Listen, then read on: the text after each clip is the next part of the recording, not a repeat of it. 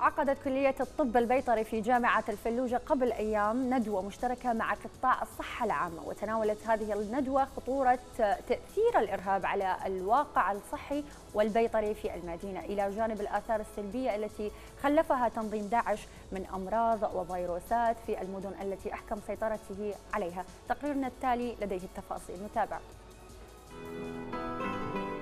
على الرغم من أن مدينة الفلوجة تم تحريرها بالكامل من عناصر داعش في حزيران 2016 إلا أن تأثير تواجد التنظيم على المدينة لثلاث سنوات وجد نفسه عنوانا لندوة أكاديمية في مستشفى الفلوجة لمعرفة مواجهة المشاكل الصحية والبيطرية على المجتمع.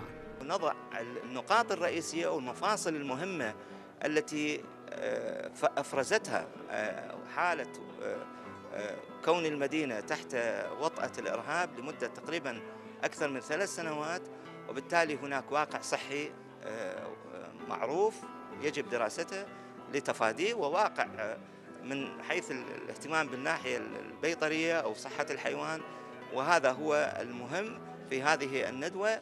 تأثير الإرهاب على الوضع الصحي والبيطري كان واضحا من خلال انعدام التلقيحات الطبية.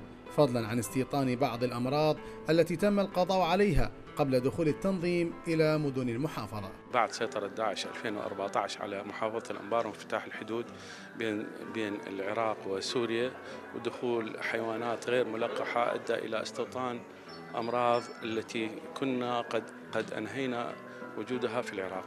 يعني البيئة الصحية كنا وصلنا إلى مدينة وأرض محروقة يعني وكانت بيئة وناس اللي موجودين كانوا يعانون من أمراض وأوبئة ونقص كثير حاد من الأدوية والمستلزمات.